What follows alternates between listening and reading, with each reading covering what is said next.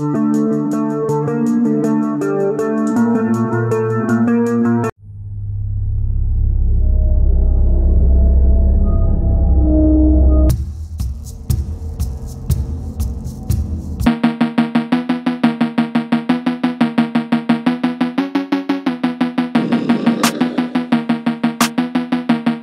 Hello friends আজকে চলে এসেছি নতুন একটি ব্লগ ভিডিও নিয়ে। তো আমি শুভম, আপনারা দেখছেন মিস্টার শুভম ব্লগ তো আমরা অলরেডি প্রবেশ করে ফেলেছি। কোথায়? Taki eco park.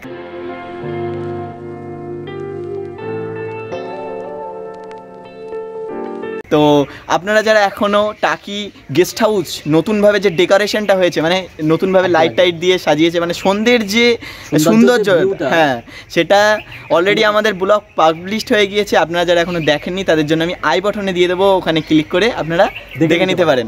তো আসতে একটু সন্ধে সন্ধে হয়ে গিয়েছে তার কারণ হলো একটু বিকেলের যে হ্যাঁ হ্যাঁ বিকেলের দিকে বেরিয়েছি যে বিকেলের যে সৌন্দর্যটা কেমন লাগে সেটাই তুলে ধরার জন্য।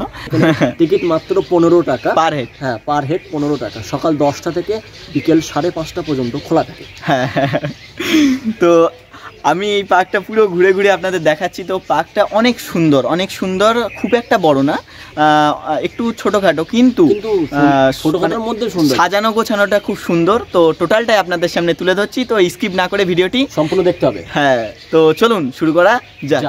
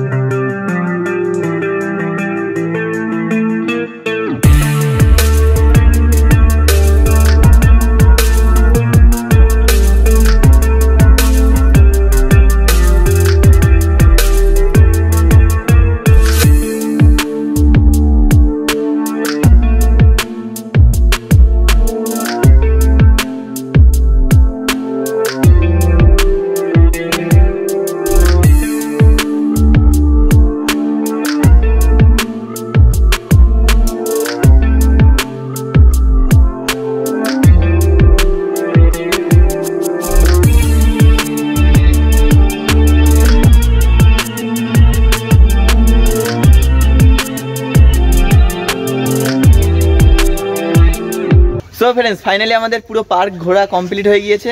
তো ভিডিওটি যদি ভালো লাগে অবশ্যই লাইক করুন কমেন্ট করুন আর নতুন নতুন ব্লগ ভিডিও দেখতে চ্যানেলটিকে সাবস্ক্রাইব করে পাশে থাকা বেল আইকনটিতে ক্লিক করে অবশ্যই অল নোটিফিকেশন করে দেবেন।